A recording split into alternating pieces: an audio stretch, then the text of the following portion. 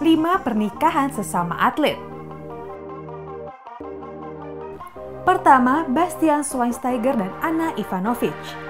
Mantan atlet sepak bola dan juga tenis ini memulai asmara di tahun 2014. Dua tahun bersama mantan kapten timnas Jerman dan juara Prancis terbuka tahun 2008 ini akhirnya memutuskan untuk menikah pada 12 Juli 2016 di Venice, Italia. Hubungan keduanya pun bisa dikatakan jauh dari berita miring.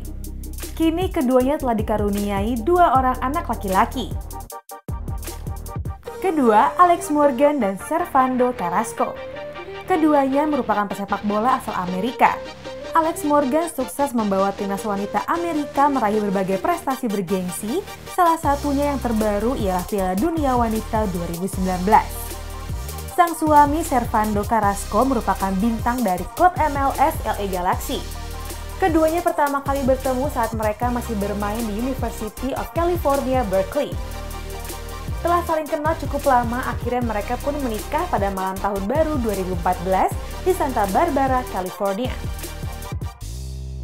Ketiga, Linswell Kwok dan Ahmad Hulaifi. Linswell peraih medali emas Asian Games cabang wushu Indonesia ini memutuskan untuk menikah dengan sesama atlet wushu yakni Ahmad Hulaifi.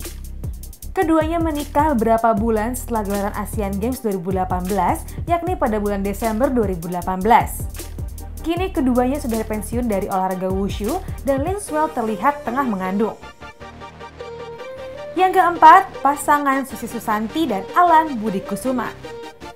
Keduanya merupakan pahlawan olahraga bulu tangkis Indonesia. Susi sudah menjalani asmara dengan Alan jauh sebelum mereka menjadi atlet terkenal. Hingga akhirnya mereka berdua sukses mempersembahkan sepasang emas bagi Indonesia di Olimpiade 1992 Barcelona. Keduanya menikah tahun 1997 dan sudah dikaruniai tiga anak. Saat ini, Susi Susanti dan Alan Budi Kusuma masih berkecimpung di dunia bulu tangkis sebagai mentor dan juga pengusaha. Yang terakhir, Xi Xingfang dan Linda.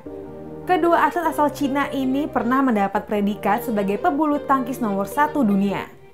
Berpacaran sejak tahun 2004, keduanya menikah pada tahun 2010 dan sudah dikaruniai satu orang anak.